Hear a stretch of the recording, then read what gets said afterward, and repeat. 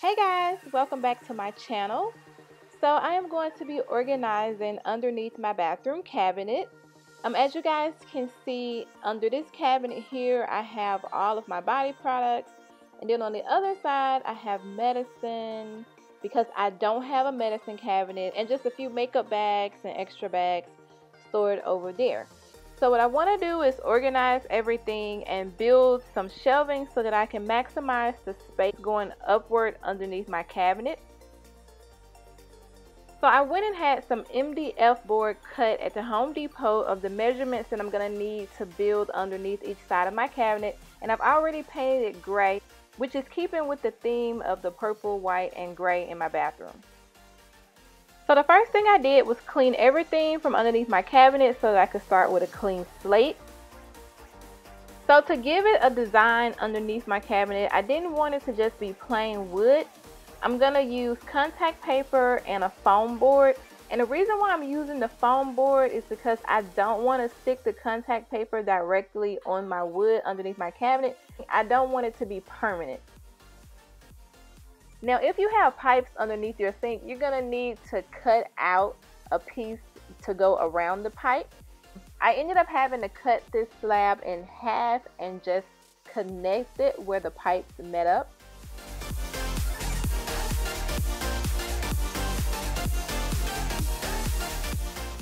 So I'm using three pieces, two sides and a shelf, and I found it's easier to insert one side first, then put the shelf in and slide the other side underneath it.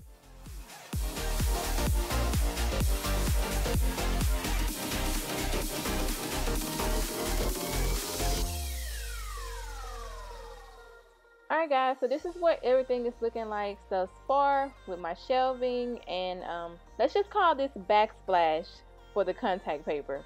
But next what I'm going to do is cover the pipes that are still left out in the open and I'm going to use foam board for this as well and as you guys can see I've already cut it in a way that it wraps around the pipe and lays flat against the back and I'm going to add contact paper to it as well.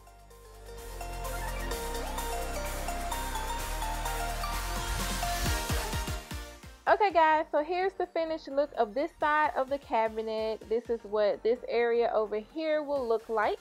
And now I can just have fun styling it by putting my containers and everything in here. Now I'm going to go over to my other cabinet and put the shelving in underneath there as well.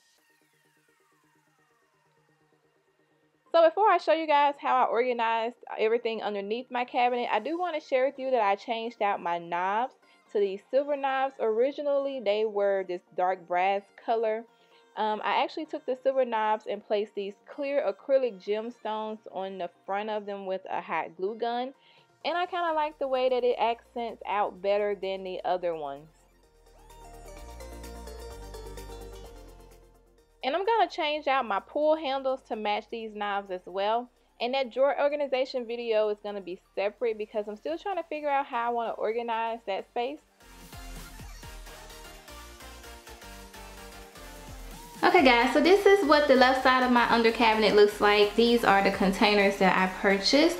Um, I got the storage container from Michaels. The jars, the mason jars came from Michaels as well. And these two containers down here came from Home Goods.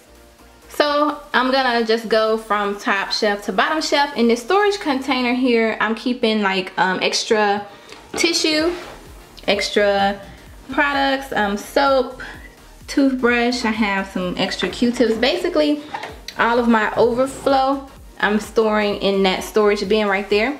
And then in the middle here in these mason jars is where I'm keeping all the cotton and Q-tips. So in this container right here I have Q-tips and then I've got some wedges in that jar. And then on this side are the flat cotton rounds and in the larger container in the back I have cotton swabs. I thought it'd be cute to keep the overflow in here in the mason jars underneath the cabinet because on top of my countertop in one of those acrylic organizers is where I keep the ones that I use on a daily basis. So next to it, I decided to start keeping towels in here because um, the worst thing you want to do is get in the shower and realize you don't have a towel to dry with and you have to run in the hallway to the linen closet. So what I've done, I'm just gonna start keeping at least three towels in this crate. And I got this crate from Michaels and um, you can see that it was in original wood. But I painted it a light lilac color to kind of blend in with the color scheme. And I think this crate was like $6 and that storage container right there was 60% off at Michael's. So I think I only paid about $8 for it. Now underneath here, um, I had medicine stored in this area because I don't have a medicine cabinet. So what I'm doing now is keeping all the medicine in this um, bin here that I got from Home Goods. So basically all of our cough medicine, any type of first aid or anything, that's where I'm storing all of that now and my daughter knows where to come to get that as well. Now in this gray bin next to it, I'm keeping feminine products. I'm gonna pull it out and show you guys. Now these containers here came from the Dollar Tree, um, the clear acrylic ones. And I've got panty liners in here. And then as you guys can see, these are actually the butter dishes from the Dollar Tree. And um, I, they fit the tampons like really well. So I'm keeping like the tampons the super and regular tampons or whatever And no, So these are all the little kitchen containers from the Dollar Tree that I decided to um, make work in here. And then next to it on this side, I'm storing a black cherry merlot candle from Bath & Body Works. So in the back behind the candle, I've got some of those, some more mason jars that I purchased from Michaels, but these already have the chalkboard label attached to them. And um, initially I wanted to keep like, I'm gonna show you guys. So this is what the jar looks like up close.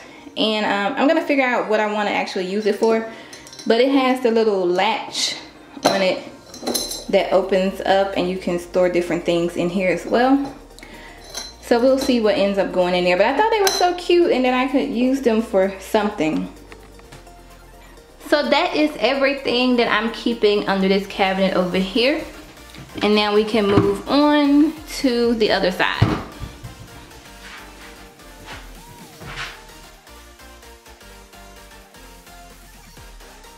Now under this side of the cabinet, this is more so the area where I'm keeping all of my body products, hair care products, things that I tend to reach for on a daily basis.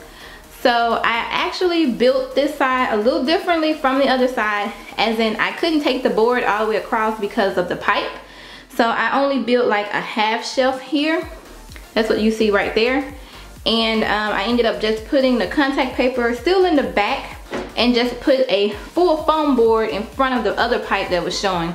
So in this bin right here, these are all of my day-to-day -day body products, my face products, and everything that I use when I come out of the shower. And I have it in an open container by itself so that it's easy to just reach and grab everything and then put it back and I can stay organized that way. So these two crates right here came from Michaels as well.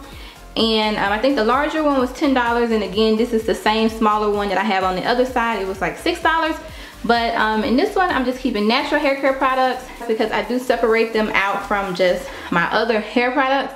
Um, in here, I don't know if you can see me zoom in a little bit.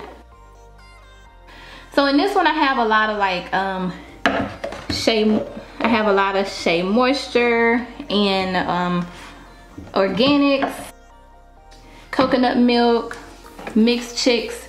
Anything that I use when I'm wearing my hair in its natural state is in this crate right here. Now going down, this is where I'm keeping all of my normal hair care products, um, mostly like shampoos and conditioners, oils and sprays. And I just kind of lift it out like this. And if you can see inside here, just like I said, it's just a bunch of shampoos, conditioners, hairsprays, leave-ins. I'm a product junkie, so I tend to like to try a bunch of different things to see how I like it. And these labels are the same labels that came from Michaels that I used in my kitchen organization video. It's so easy to just write on them with a chalk, chalk marker and label what you need. It comes on and if you need to change it, it's easy to remove. It doesn't like stick. So anyway, this is what the left side of my, this is what the right side of under my sink looks like. And I'm gonna keep it organized. That's the plan.